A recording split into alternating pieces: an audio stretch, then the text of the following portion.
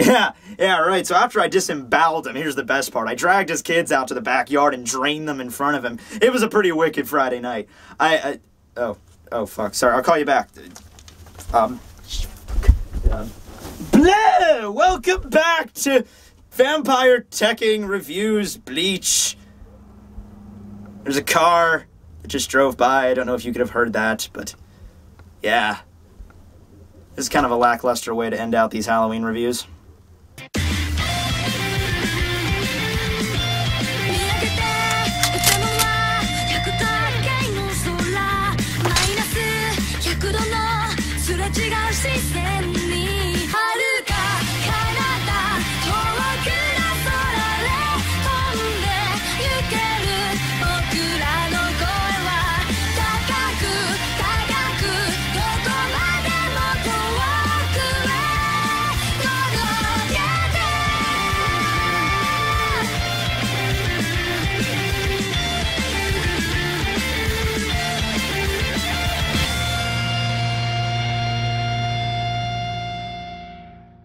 Hey everybody, Vampire Tekking here to review Bleach chapter number 649, titled The Theater Suicide, Scene 3. So chapter continues on where we left off. We had uh, Shunsui activating his Bankai, Katen Kyokotsu Karamatsu Shinju, which is uh, broken up into three different uh, dawns or acts, you know, to a play or to a story. Uh, the first act or dawn uh, had the wounds being shared between Lille and Shunsui, so that Shunsui's uh, injuries that Lille caused him got reflected onto himself. And then we had an illness one, which caused Lille to begin like erupting blood, you know, bleeding from the eyes, have these like black spotted legions all over his body. And then the third one was uh, Jiango's Abyss, which basically cast both Shunsui and Lille into this bottomless void of water. You know, it basically just summoned an ocean all around them. You know, it's basically just fucking logic over. So we begin where we left off there. We have Lille who is submerged under the water and he keeps on uh, sinking, and no matter what he tries, he cannot manage to get back up. Even when he has all these wings and he's trying to propel himself back up to the surface, the surface just keeps getting further away from him. Kind of like if he was in a video game that's just glitching the fuck out. Aw, damn it, damn it, damn it. Okay, okay, calm down, Lille. You're the fucking messenger of God, alright? Now, now, what did Yuha tell you to do in a situation like this? Ah, yes, Lille. Well, I just wanted to tell you, on the off chance that Shinigami ever activates their Bankai, which sends you to the bottom of an unexplainable ocean that just magically manifested around you, I want you to know one thing. Oh, okay, Majesty, what is it? Wh- What should I do if these very likely series of events occur? You should make sure to wear a gorget. Um, Your Majesty, I have no idea what a gorget is. I have spoken! Now, despite the fact that they're both underwater, they can, of course, still speak to each other because wouldn't be a Bleach chapter if the character that just showed off that power wouldn't be able to explain that power to the villain. And, uh, also remember, like I said, Shunsui's Bankai logic kind of yeah. Though I have to hand it to Shunsui, he doesn't so much explain the power of his Bankai or what it's actually doing. He rather just keeps on talking very vaguely about the nature of his Bankai's power, really what it means, like symbolically and shit. So we get the title page, which not only includes Shunsui, but the pretty badass part of this chapter is that it also includes the Zanpakuto spirit form of Katen Kyokotsu, uh, who is uh, wrapping her arms around Shunsui's uh, back, as was probably that shadowy figure at the end of 647. Remember that? That shadowy figure that appeared. You know, we didn't really get to see what it was, and I could kind of assume, we all kind of assumed that was probably Katen Kyokotsu, but we didn't really want to jump to conclusions on what she would look like, because this is uh, an interesting topic, because we've actually already seen Katen Kyokotsu before in the Zanpakuto arc, which was the non-canon arc in the anime, and uh, she looks pretty much exactly like she did uh, back then. In fact, she looks pretty much identical. I think her eye patch might have a slightly different like chain to it or like different appearance there, but she's pretty much exactly the same exact design. And uh, this brings up some questions. Uh, first things first, I should probably just throw this out there because there are still people that send me messages and they discuss things that happened in the Zanpakuto arc like they're actually canon in the series, and I have to address you that it is not, it isn't. Uh, what happened, and this is really all that happened, is that uh, Kubo was part in designing the Zanpakuto spirits uh, and their appearance, how they would look in human form. You know, that was the only um, thing that Kubo really contributed to that arc. So it makes sense why Katen Kyokotsu's appearance here is consistent with Katen Kyokotsu in the anime, but that has nothing to do with, you know, Muramasa being canon or the events of that arc taking place at some point. It was just the appearance. That's all it was. Just think of them like alternate universes. Um, what was it also? Another thing yeah uh, just to address that arc really quick because some people were still like really confused of exactly how the zanpakuto spirits worked because you know we had renji zanpakuto which took the appearance of zabimaru which took the appearance of like a monkey and a snake. And then we had in the zanpakuto arc it took the appearance of like a hot busty woman and a little boy that was like the, they were chained together. So here's how this worked. And this is just like a minor deviation but just to like you know cement in how this worked Muramasa was able to use his powers to pull out a Zanpakuto spirit and manifest it in a human form.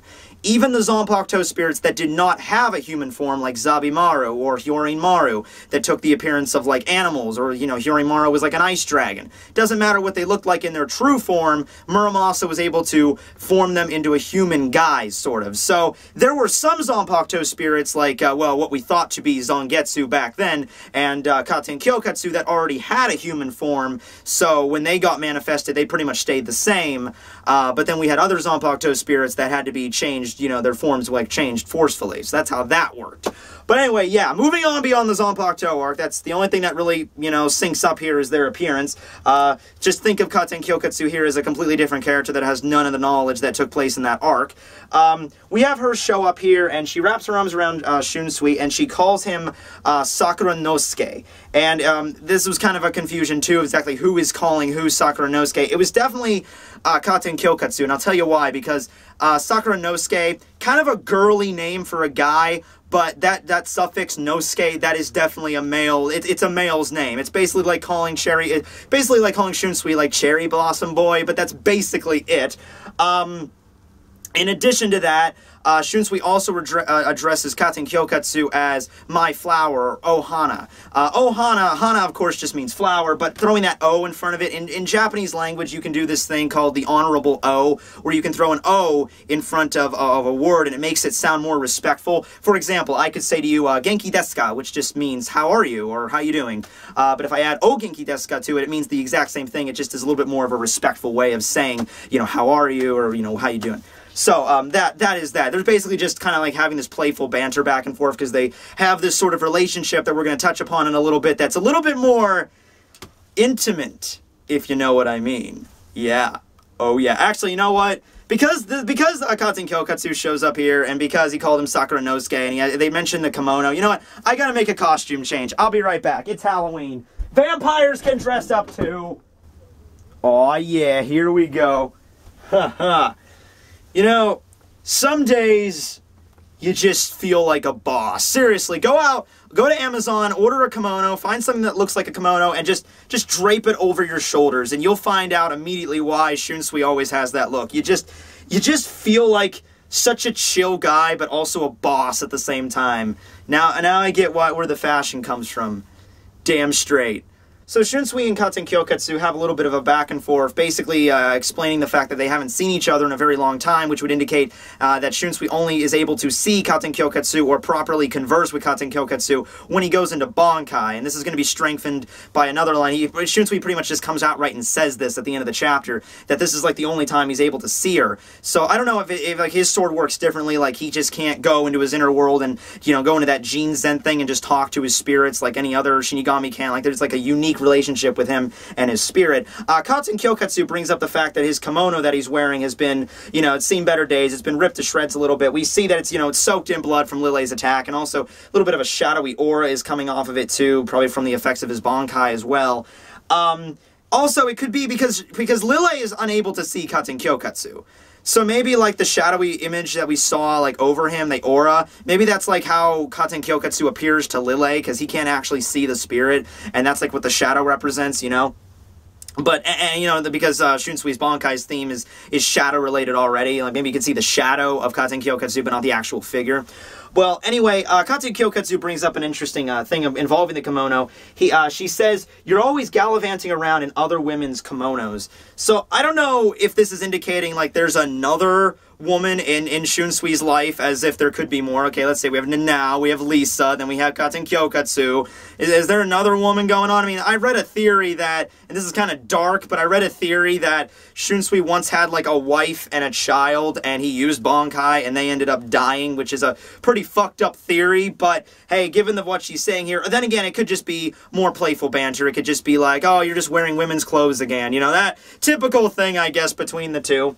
Yeah, most of this chapter is just honestly just their their banter back and forth. Doesn't really have much substance other than just give a little bit more insight of all their relationship. Like it doesn't advance the plot really, but uh, I mean I'm I'm cool with it. I'm just awesomely dumbstruck at still seeing this girl in the freaking uh, manga. It's freaking badass, man. Lille brings up the fact that he's not able to see Katen Kyokotsu, and therefore from his perspective it looks like Shunsui's just talking to himself. But he says it doesn't matter anyway because the power of a Bankai is so pathetic that it could never hope to defeat someone like him him a judgment, a, a, a, messenger of God, you know, and he even says like, you know, it doesn't matter how much damage you do to me, it's just a pitiful technique. I can never die to something like this. So he ramps up to come charging to Shunsui. I don't know if he's going to try out a new technique or whatever, but Shunsui goes down. He reaches for both of his swords. Uh, however, he doesn't pull them out. He just kind of reaches down for his katanas, pulls his hands back, and now his hands seem to have like this white uh, filament or thread surrounding him. And he just begins to recite this verse. He says, but a woman's compassion can be just as cruel, no longer leaving an ear open to the man she adores. Now around her throat shines but a damp white thread of lingering affection. At the very least, allow me to cast it off with my own hands, this unsightly, entangled thread of lingering passion. Now I present to you the grand finale, if you will, the final dawn. Thread-cutting shears, blood-stained windpipe. Hmm, very poetic way of saying, it's a fucking razor wire! Huh. Well, uh, doesn't seem like he did any damage there. Well, I guess I should just counterattack before he manages to... Oh, uh, okay, uh, looks like a little minor paper cut. Uh, shouldn't be anything I should be worried about. All I have to do is... Shit. Okay, let me rephrase that. It was a fucking godly razor wire. Yeah, so the final technique, of the final dawn of Shunsui's Bankai pretty much just has this extended filament or wire that he just extends out, wraps around his opponent, and basically subsequently, like, rips apart and explodes anything that fucking thing comes in contact with because Lille's throat gets, like, slit, and then it literally just, like, all of his organs, everything in his body just immediately tries to leave through that one opening, and it just gushes outward, you know? And I, I, I, I kind of want to draw something there on this just blank white bubble bubble that's erupting from Lily's throat. I, I don't know what to do, though. I mean, okay, maybe, okay, it's kind of shaped like one of the ghosts from, like, Mario Brothers. Maybe I'll just, yeah, there we go. I mean, that's something. Maybe you guys can give me some other ideas. He kind of looks like a frog you know, it's like erupting from him. Okay, but whatever. Uh, with that attack, though, it looks like uh, entire upper half has been completely obliterated, and his remainder of his body just falls down into a, a bottomless abyss between the buildings. Not really sure if they're like warping dimensions here, where Lille's just going to keep falling forever, because we just see like a black abyss. We don't see the bottom, so I don't know how the logic of this place works, but whatever, however. On the bright side, though, I think I finally figured out what a Gorget was. Now, here's the interesting part. After he apparently has completed his Bankai, Shunsui just kind of like lets out a sigh and then he begins to fall backwards as if he's, you know, exhausted himself and he's about to collapse, you know? Even though nothing that really seemed to happen really affected him all that much. I mean, I mean the initial damage from Lille, sure, but nothing involving his Bankai seemed to like, you know, tire him out considerably or really, you know, put a lot of strain on his body, but he just begins to now collapse. He falls backwards right into Katen Kyokotsu's lap, to which he's quite pleased by, because, well, let's be honest here, who wouldn't be? Um, and he states that I guess the occasional Bankai has its fringe benefits because I'm able to rest on your lap. So that basically implies, yeah, the only time he's able to see her or converse with her is when he goes in the Bankai. And this goes on a little bit more where they kind of have a little bit more of a of a of a back and forth, basically hinting on some sort of romantic relationship between the two. To which point she even says, I don't know why you would have chosen to be with me anyways. Katanas and Shinigami are such incompatible beings. But I digress. You're free to do as you please. Is Shunsui fucking that sword? I think Shunsui's fucking that sword. Now, before you guys get all uppity and be like, oh, Techie, you know, there's more to a relationship than just sex, you know? It could just be a romantic relationship between different beings. It's it's such it's so elegant, it's so symbolic. Yeah. Well, I would buy that except for the fact that about 100 chapters ago we had this guy who basically had an entire fucking harem of Zanpakuto spirits chilling out in his backyard. So, you know, I don't want to hear it, okay? Shunsui bang the sword, okay? In fact, it's actually even more funny when you consider another revelation we found out about Zanpakuto spirits in that they're not actually separate entities. They're more like versions of your soul that kind of just split off and become weapons, and they're just basically yourself. So, I guess that means that Shunsui um, is in love with himself. Yeah, yeah, okay, I could buy that. that. That's totally believable. Yeah, sure, totally. Well, at the very least, though, it seems that everything's good. Uh, the battle's finished. Lily got blown into a thousand pieces. We got to see Shunsui's Bankai. We got to see Katen Kyokotsu in the manga. And now Shunsui is just taking a nice rest on his lover's lap right before.